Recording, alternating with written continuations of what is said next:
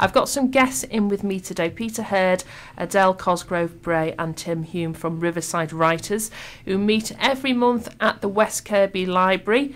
I went to one of their meetings last week. We had a really good fun. It was a good laugh. It was good fun, wasn't it? We always aim to make the meetings Yeah. fun rather than serious. Yeah, yeah, yeah. We've had an email in about uh, Peter's short story. It's from Barry and Sheila, and they say uh, we re- should, they really enjoy these writing features we have on the radio. And they said your stories are very good, Raymond Chandler spoof, very funny, Oh, thank you very much. which is nice, isn't it? Fantastic stuff. Now, Adele, you're our dark fantasy writer. I aren't you? am, I am. I mean, before I met you, I thought all fairies were uh, were all nice and cuddly and sweet. And oh no, how you- wrong? Very wrong. if you read old Celtic folklore, you would know that fairies are not cuddly and sweet. They are tall, they're very, very clever, and they can be extremely vicious as well. So you, you've blown away all my fantasies, my innocence. But I've given gone. you new ones, better ones.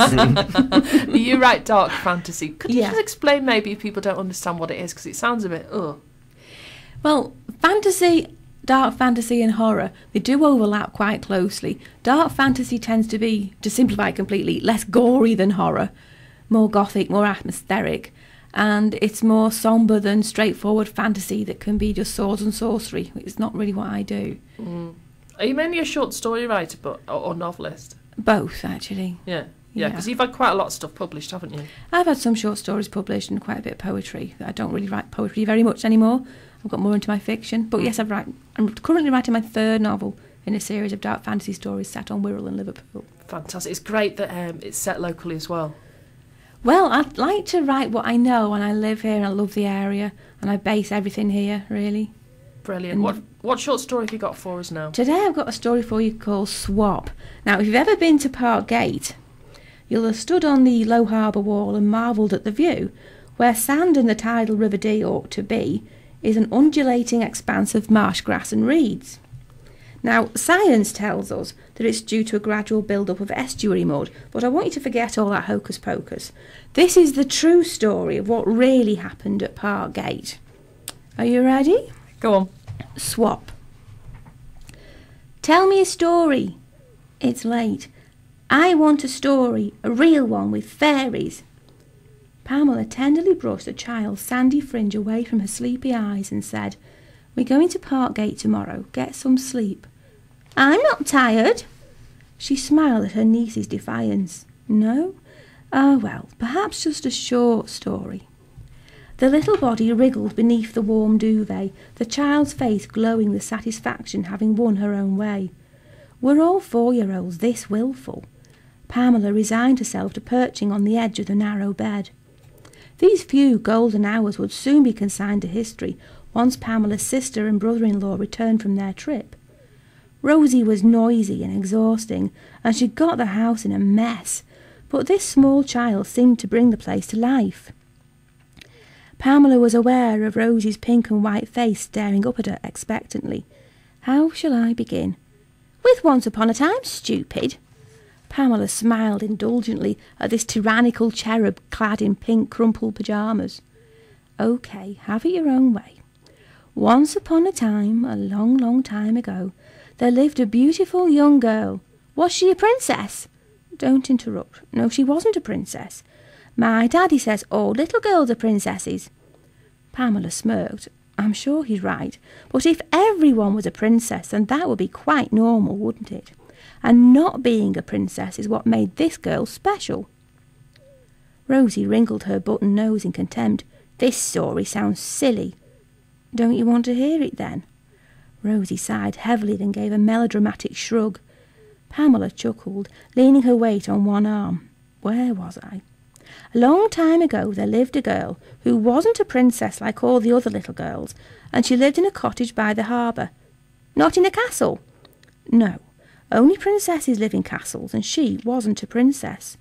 Why? Did this child ever ask anything else? Why this, why that, all day long? It was exhausting, yet oddly amusing. Rose's endless questions had forced Pamela to realise that she, too, didn't really know the why of an unnerving number of things. Were all children so inquisitive? Pamela rolled her eyes and replied, Princesses have to have mums and dads who are kings and queens. This girl's mother was a weaver. Her father was a fisherman whose blue boat was docked in the harbour when it wasn't out at sea. What's a name? You've not said a name. Ivy, said Pamela, using the first name which came into her head. Rosie scowled. My mum and dad aren't kings or queens, but my daddy says I'm his princess, and my best friend Susan is a princess too, and her mummy is a telesales operator. Yes, well, perhaps there are different kinds of princesses. Anyway, Ivy lived in a small cottage by the harbour, and when her dad's blue boat came back from the sea, ships go out to sea, not boats. Boats only go on rivers. Well, perhaps this one changed its mind. Pamela had the horrible feeling that the little monster might be right. She quickly rushed on. So when Ivy's father came back from fishing out at sea, Ivy would stop helping her mother with the weaving. What's weaving? Pamela paused. How could Rosie recognise the differences between boats and ships, but not understand weaving? She struggled for a simple explanation. Weaving is when strands of cotton or wool are threaded through each other to make cloth. Rosie scowled again. What for? So the cloth could be made into clothes. Didn't they have shops? No, not in those days. Pamela hoped the child wouldn't notice her lie. How did Ivy's daddy buy a ship then? He swapped it for some fish. Oh, can we get on with the story now? Who did it swap it with? Rosie! How can I tell you the story if you keep interrupting all the time? Pamela tried and failed to look stern. Rosie sat up in bed, shoving her pillow behind her as she leaned against the soft headboard. Her silky hair stuck up at the back. Did he sell fish on eBay? Pamela burst out laughing. No, computers hadn't been invented yet. Rosie stared round eyed. Perhaps Pamela had once worn a similar expression when her great grandparents had talked about life before motor cars. Pamela tried to regain control of the story. Ivy's father swapped a big pile of fish for the blue ship. He made this swap with a fairy. I don't mean a tiny fairy in a tutu with see-through wings and a wand with a twinkling star on top. They're just make-believe. I mean a real fairy, one of the old Celtic gods who were tall and powerful and who knew real magic. Rosie's petulant expression eased a little. Obviously the mention of fairies and magic had hit the right spot. Pamela adjusted her position on the duvet. The swap seemed to go well. Ivy's father and the handsome fairy shook hands on the deal before going their separate ways. But the fairy's walk home took too much too much time now he didn't have his ship. Normally the fairy would have sailed up the River Dee, then moored, his boat by the shore. But now, by the time he'd walked all the way home, the fish had begun to smell. Didn't he live in fairyland? No, I told you, all that's just made up.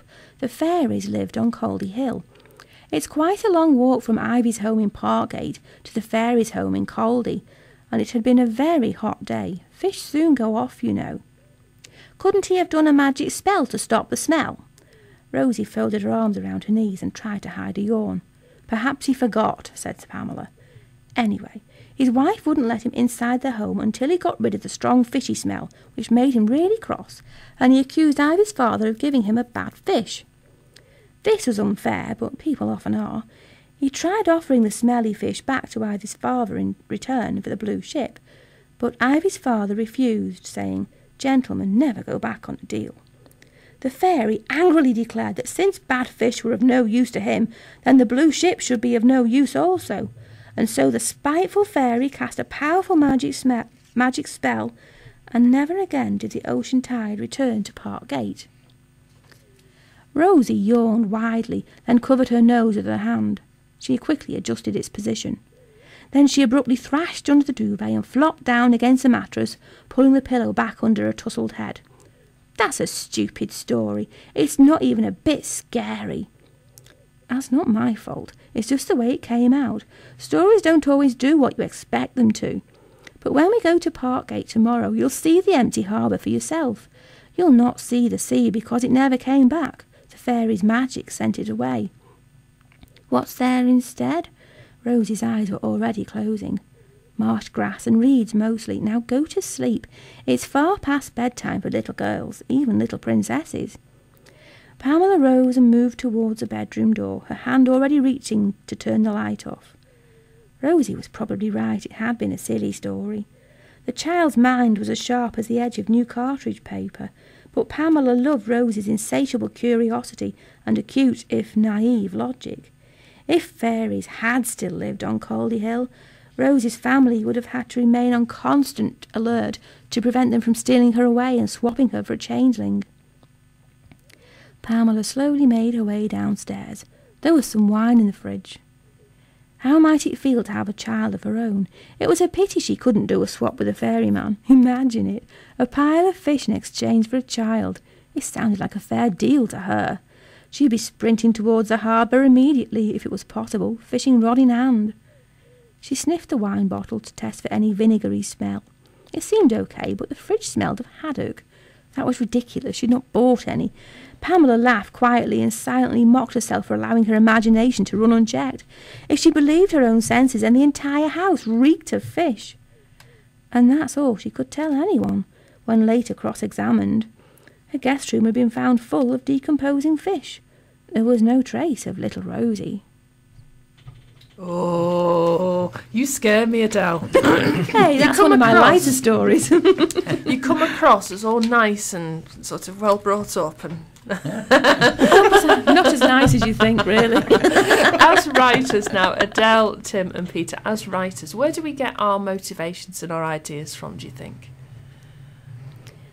A lot, a lot from, well, in my case, a lot from uh, experience. Sorry, uh, a lot from experience. Um, sort of things that have happened, little things that have happened o- over my life, which uh, say are slot together with other ideas. Mm. Mm. Peter, what about you? Where do you get the ideas for your stories from? Experience, definitely, but um, I think it could be could be anywhere. To be quite honest, you could see something walking down the street that kind of you might um, might spark off something imaginative in your mind, um, or read something. Mm. A lot of write- writers keep a journal, don't they, of sort of things that they observe, maybe read in the newspaper, you sit on the bus, you meet some weird people. Does anyone, because I keep a journal for my writing, Not, so not does a anyone- journal, but scraps of paper litter my house. Yeah. I kind of just that's just being Yeah. bad at housekeeping. probably yes. Adele, how about you? I'm bad at housekeeping too. Don't bother with it. So, I mean, you're, you're, I, mean, I know, um, you know, fiction is fiction no matter what Mm. genre it is, but dark fantasy, it's a little bit different, isn't it? I draw on personal experience um, and also folklore. I've read folklore since I was a child. And I've seen ghosts and strange things that other people think of figments of my imagination that I've Mm. seen. And I weave all this into my stories. But I get ideas from all over the place constantly. Even a flippant little remark that a passing stranger might say that just catches my imagination for some Mm. odd reason. I can turn that into a story. You're listening to Seven Waves Community Radio 92.1 live.